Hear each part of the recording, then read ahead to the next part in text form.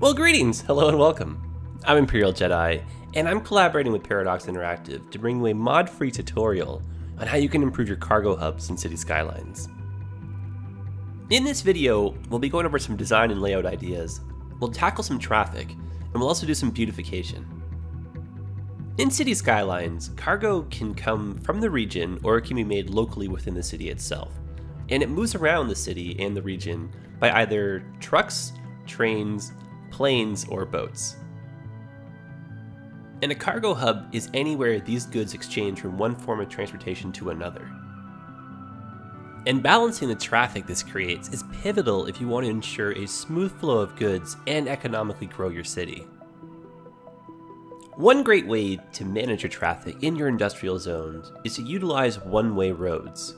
One-way roads are really convenient in the sense that they do add extra lanes and flow to traffic without the need to have to do extra wide road layouts.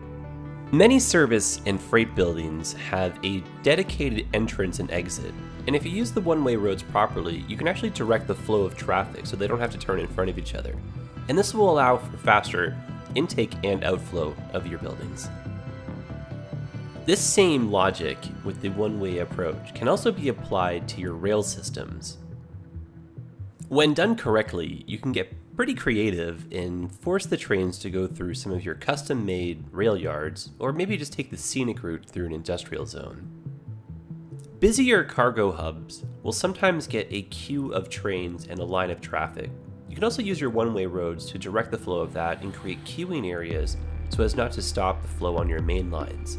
You can also use one-way rails and roads to create bypasses from busy stations.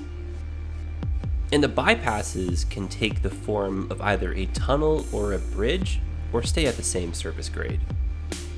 To help cut back on bottlenecking on your rails, you can create multiple corridors, separate your passenger and cargo traffic, and in some cases, instead of using rails, set up maybe an expressway or just take advantage of your main highway. You can take a bit more of a simplistic approach for detailing by using just simply some pathways, some trees, and some fences, with the goal being to visually create what looks like a safety barrier between roads, rails, and maybe some of the larger factory buildings. For some more advanced detailing, you can line your shorelines with quay walls, start using some of your favorite unique buildings, and you can start playing around with some of the assets that come with the different DLCs. And if you happen to have the Industries DLC, the main cargo hub is a perfect spot to put down some of the larger factories as well as their accompanying warehouses.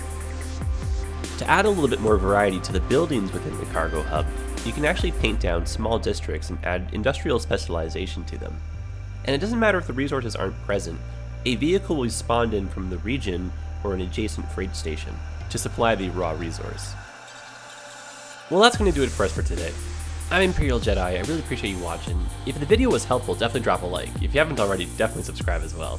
And I know this was a lot to talk about in a short period of time, so if you guys have any questions or want some follow-up, just drop me a line, I'll do my absolute best to answer. Otherwise, take care of yourselves. Happy building. Appreciate you being here.